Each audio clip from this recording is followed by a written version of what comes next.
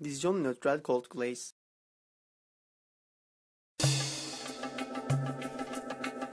Put the required amount of cold glaze into a bowl by a spoon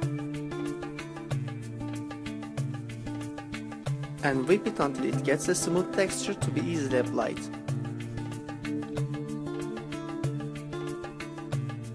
If necessary, add some water to have the desired texture. Can be applied on any type of pastry products by a brush or a spatula. Application on cream cake. Spread the whipping cream on cream cake which was prepared in advance.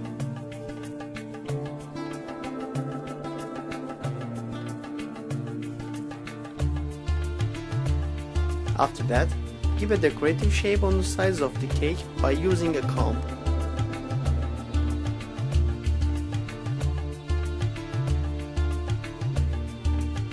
Put various fruit pieces on top accordingly.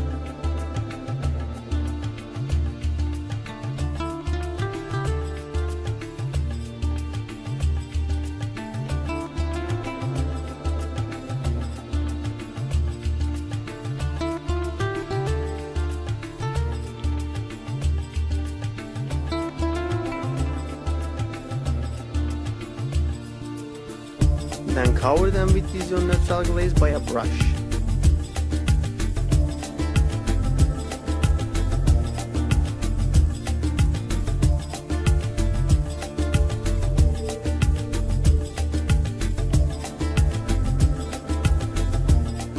Ready to serve.